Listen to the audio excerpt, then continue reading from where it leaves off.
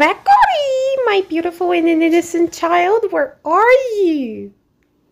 Gregory? And you're a witch and stinky and a motherfucking bitch. That's what you are, you old lady motherfucker. That's what you deserve.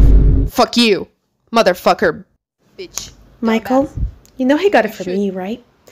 You you know this. should- You made yeah. this to him. What, That's what, right. what have you done? That's Why does he hate women? I'm so good I mean, I don't I'm know, so good at man. I'm just here. Besides, I'm an absent father. So I'm kind of a dick.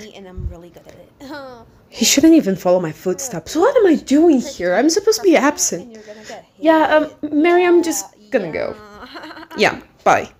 Whoa, young man. You shouldn't be so. No, fuck you. Fuck you times two. Disgusting witch. Ugly, hideous, motherfucking witch.